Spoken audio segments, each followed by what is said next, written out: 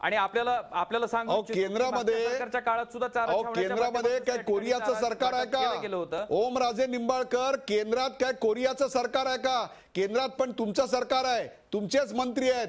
असं असताना तुम्ही ही तांत्रिक कारण सांगता. मग अशा प्रकारच्या घोषणा करताना ओम राजे अशा प्रकारच्या घोषणा करताना अशा प्रकारच्या घोषणा करताना तुम्हाला याची माहिती नव्हती? तांत्रिक कारण कशाला सांगताय? मला मला तुम्हाला दुसरा. प्रश्न विचारायचा आहे ओम राजे? चावडीच्या बाबतीत आदरणीय उद्धवजी ठाकरे साहेबांनी ठामपणे चारा हा दावणीवर द्यावा ह्याच्या संदर्भात भूमिका मांडली होती तशा प्रकारची शिवसेनेची ही मागणी राहिलेली आहे त्याच्या संदर्भात ही जी अडचण आहे ती मी आपल्यासमोर मांडू इच्छितोय आणि याच्या बाबतीत त्या ठिकाणी चारा छावणीच्या अहो, माध्यमातून आपण म्हटलं तुमचं की. जनावरांच्या जिबेला आज मला वाटतंय ज्या पुढे नेतो. ओमराजे ओमराजे या प्रश्नावर आपण भरपूर बोललोय. आपण एक पुढचा प्रश्न तुम्हाला घेऊन नंतर मी सुरेश धस यांच्याकडे जातोय. मला तुम्ही सांगा आत्ता बाजारात गुरुची कारण काय वाटतात तुम्हाला? ओमराजे दोन अत्यंत महत्त्वाचे आणि कळीचे प्रश्न आहेत.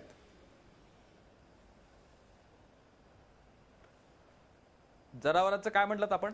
जनावरं आता. बाजारात विकायला आली आहेत का? आली असतील तर ती विकली घेत घेतली जात आहेत का? आणि मग ती का आली आहेत आणि विकत घेतली जात नसतील तर का जात का जात नाहीयेत नाही मी आपल्याला सांगू इच्छितो की सरकारनं ज्या चारा छावण्या चालू केलेल्या आहेत त्याच्या माध्यमातून धाराशिव जिल्ह्यामधल्या तब्बल त्र्याहत्तर हजार जनावर ही चारा छावण्यावर आहेत. आणि चारा छावण्याच्या माध्यमातून शेतकऱ्या फार शेतकऱ्याला फार मोठा दिलासा त्या ठिकाणी मिळालेला आहे. आपण म्हणताय ते रास्त होतं. चारा छावण्या जर उघडल्या गेल्या नसत्या तर ही जनावरं त्या ठिकाणी बाजारात विकली गेली नसती. फार मोठं संकट त्या ठिकाणी शेतकऱ्यावर आलं असतं. आणि ती जनावरं सांभाळायची तर कशी सांभाळायची? हा सुद्धा मोठा एकश प्रश्न त्या ठिकाणी शेतकऱ्याच्या समोर उभा टाकला असता. पण सरकारनं ज्या चारा छावण्या त्या ठिकाणी चालू केल्यात त्याच्या माध्यमातून फार मोठा दिलासा हा दुष्काळग्रस्त भागातल्या शेतकऱ्याला मिळालाय. हे कुणीही नाकारून त्या ठिकाणी चालणार नाही.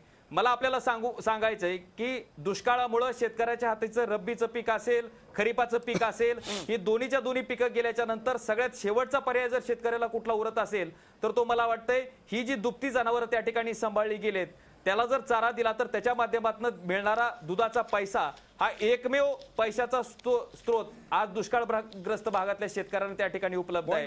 आणि मला आपण वाटतंय सुरेश धस- छावणीच्या माध्यमातून ह्या ओमराजे शेतकऱ्यांना आपण फार मोठा सुरेश दिलासा धस द्यायचं यांच्याकडे काम जाऊया. तुम्ही या तीस तीस चारा माहिती पुन्हा छावण्याच्या देताय. माध्यमातून झालंय तुम्ही आणि तीस ते तीस सगळ्यांनी माहिती त्या पुन्हा ठिकाणी देताय. स्वीकारायला तुम्ही पाहिजे. प्रश्नाचं उत्तर थेटपणे दिलेलं नाही. आणखीन यावर प्रश्न विचारून तुम्ही तेच उत्तर देणार असाल तर. तुमच्या मतदारांसमोर तुम्ही काय उत्तर दिलं एवढं मी फक्त ठेवलंय बाकीचा निर्णय त्यांनी घ्यायचा आहे. आपण सुरेश धस यांच्याकडे जाऊया. सुरेश धस आपल्या राज्यमंत्री पदाच्या काळामध्ये छावण्यांमधल्या घोटाळ्यांवर आपण कार्यक्रम केला होता आपल्याला आठवत असेल? त्या काळामध्ये याच्यावरून. एका कर्तव्यदक्ष अधिकाऱ्याचा बळी जाता जाता माध्यमांनी वाचवला याची देखील आपल्याला जाणीव असेल? सुरेश धस? होय होय होय. धन्यवाद आपल्याला हे सगळं हो त्याबद्दल ना मी बोला बीडमध्ये एकशे त्रेसष्ट चारा छावण्या आहेत हो. बरोबर बीडमध्ये हो, एकशे त्रेसष्ट चारा. छावण्या आहेत त्यात नव्वद टक्के मोठी जनावरं आणि दहा टक्के छोटी जनावरं लहान जनावरं सर्वसाधारणपणे एखाद्या जिल्ह्याचं पशुधन पाहिलं हो. तर ते प्रमाण साठ टक्के आणि चाळीस टक्के असतं परंतु या चारा छावण्यांमध्ये हे प्रमाण अचानक नव्वद टक्के आणि दहा टक्के कसं होतं हे गौड बंगाल माझ्यासारख्या शहरात राहणाऱ्या माणसाला जरा समजावून तरी सांगा. हे ग्रामीण शहाणपण मला शिकू तरी देत थोडं. हे पहा उदय निरगुळकरजी तुम्ही ज्या पद्धतीने बोललाय माझ्याशी ते माझ्यावरती माग छावणीच्या संदर्भातले आरोप होते. म्हणून या वेळेस या दुष्काळात एकही छावणी मी माझ्या वतीनं किंवा माझ्या संस्थेने चालवायलाच घेतलेली नाही. संपूर्ण बीड जिल्ह्यात. संपूर्ण बीड जिल्ह्यामध्ये ज्या चारा छावण्या आहेत त्या सर्वच्या सर्व नव्वद टक्के भाजपाच्या आहेत. काही शिवसंग्राम आहे आणि शिवसेना आहे. राष्ट्रवादीचे लोक याच्यामध्ये यावेळेस जरा कमी आहेत कारण आमच्यावरती खूप टीका झालेल्या आहे.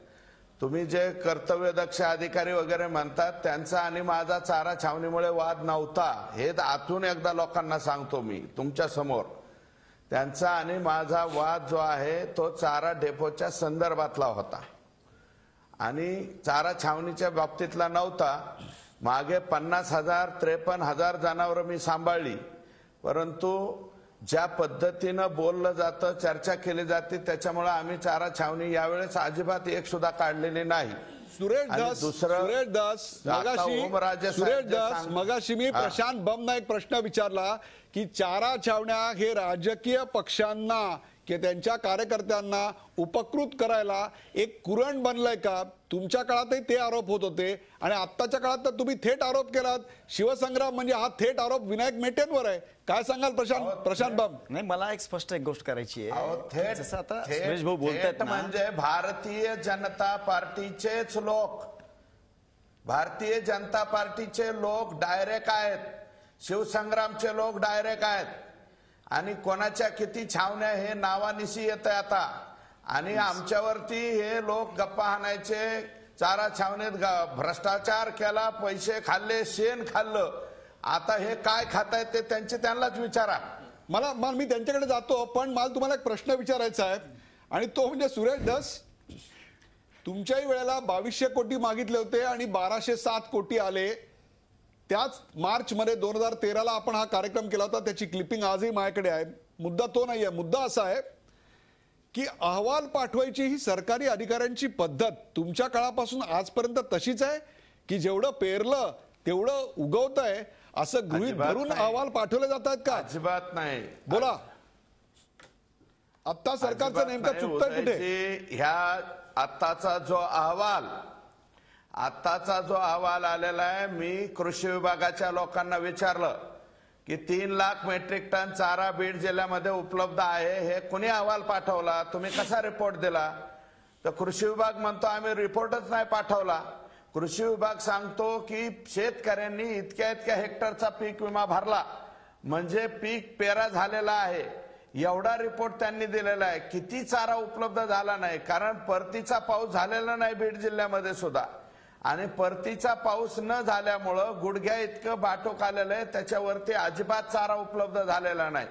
प्रशांत बम जे म्हणतायत सरसकट वगैरे कोणत्या भागामध्ये चारा उपलब्ध झाला हे त्यांनी जरा सांगितलं तर बरं होईल. औरंगाबाद जिल्ह्यातल्या आता जे अब्दुल सत्तार साहेब आणि काही जालना जिल्ह्यातला पाठ सोडता परतीचा पाऊस कुठं झालाय हे जरा प्रशांत बम साहेबांनी सांगितलं तर बरं होईल. आणि ओमराजे साहेब जे सांगतायत की केंद्र सरकारची टेक्निकल अडचण आहे. अरे केंद्र सरकार कोणाचं आहे? तुमचंच आहे ना आजचे दिन आणणारांचं मग एका दिवसात जाणं प्रस्ताव घेऊन.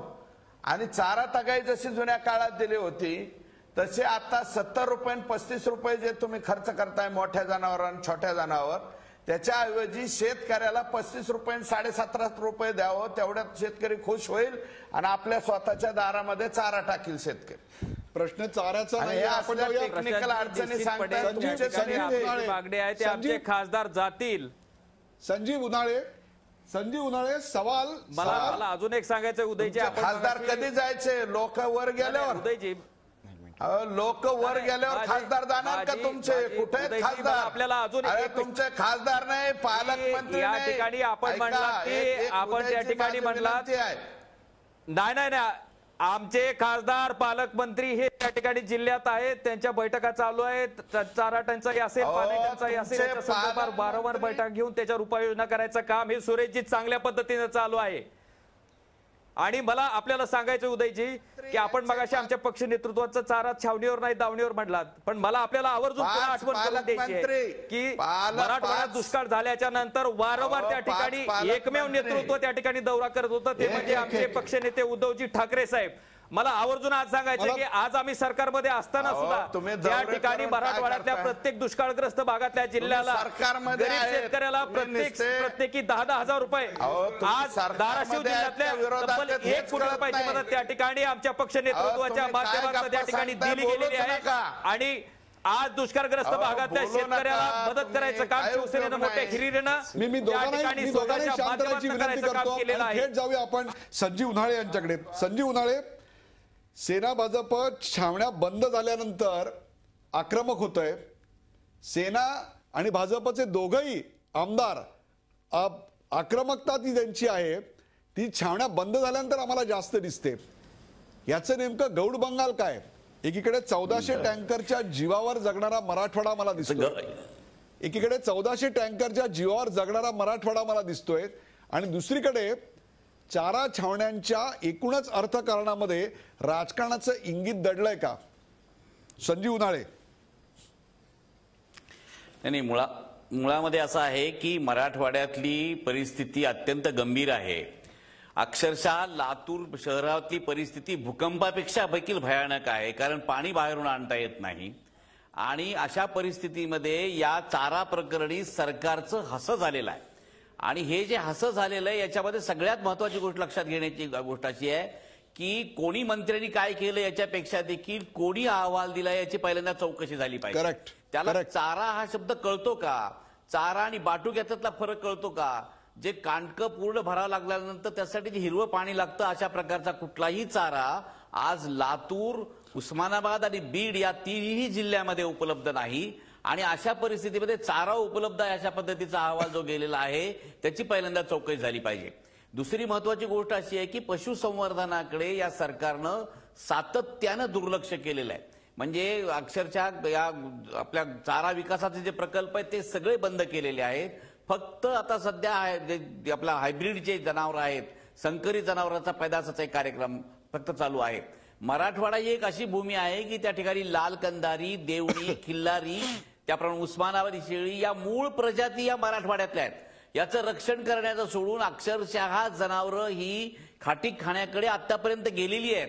मोठ्या प्रमाणावर स्थलांतर झालेलं आहे. आणि अशा परिस्थितीमध्ये आता जनावराच्या छावण्या चालू करायच्या की नाही याच्याबद्दल चर्चा करण्याची ही वेळ नाही. चा- छावण्या सुरू झाल्या पाहिजेत.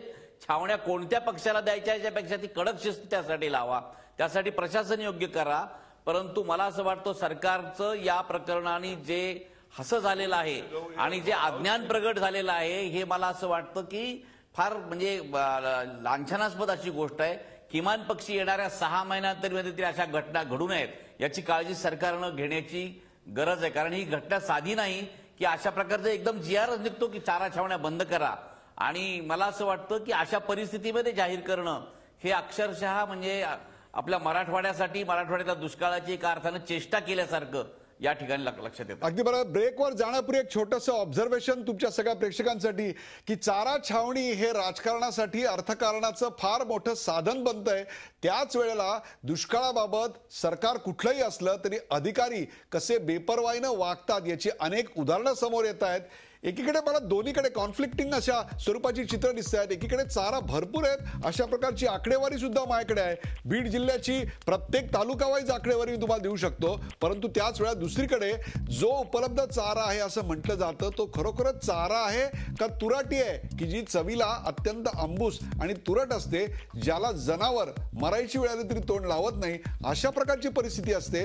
या सगळ्याची चर्चा आपण करणार आहोत. एका ब्रेक नंतर कुठे जाऊ नका पाहत राहा. झी चोवीस आज आपण पाहताय. छावणीवरून खडा जंगी झी चोवीस तास. रहा एक पाऊल पुढे.